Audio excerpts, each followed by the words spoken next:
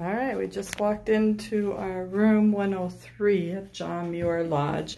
When you come in, you're pretty much right in the bathroom.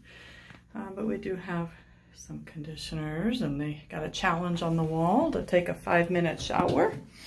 a few towels for us, some body lotion.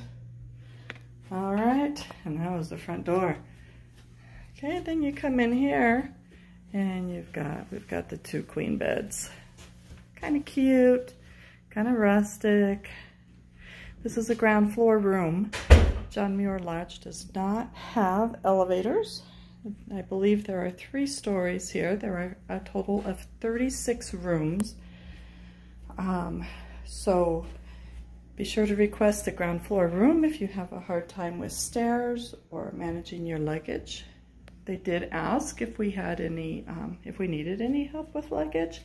So apparently they will assist if you need it. Um, let's see what we got here. Some tissues, the remote. Oh, look, there's a docking station there with your alarm clock. And we got a mini fridge over here, flat screen TV, coffee maker on the dresser with the San Francisco blend. All right, telephone. We also noticed the ice machine downstairs was out of order, so we um, need to go upstairs to refill our ice chest.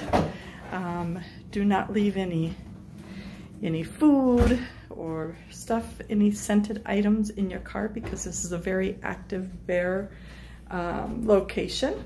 They have signs posted everywhere, and so you definitely have to bring in all your food items and anything scented, any lotions or uh, maybe even, you know, car uh, deodorizers and uh, lip balm, all that kind of stuff. Don't leave it in the car.